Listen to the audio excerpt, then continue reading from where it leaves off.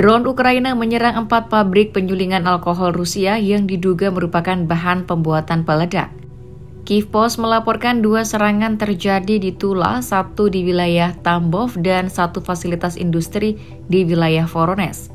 Semua pabrik penyulingan yang diserang tersebut memproduksi etanol pelarut yang digunakan dalam bahan peledak.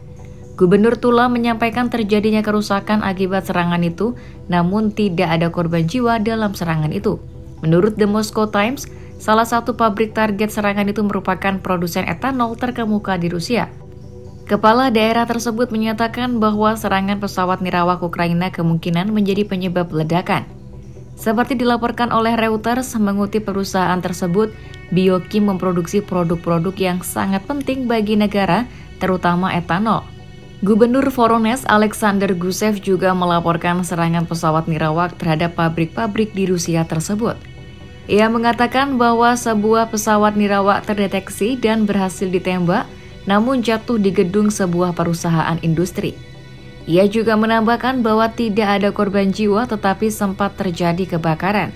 Sementara Kementerian Pertahanan Rusia hanya melaporkan bahwa pada 21 Oktober, 18 pesawat nirawak Ukraina dihancurkan. Beberapa pengamat menyindir bahwa serangan itu menghancurkan moral Rusia dengan mengganggu produksi vodka dilansir Business Insider.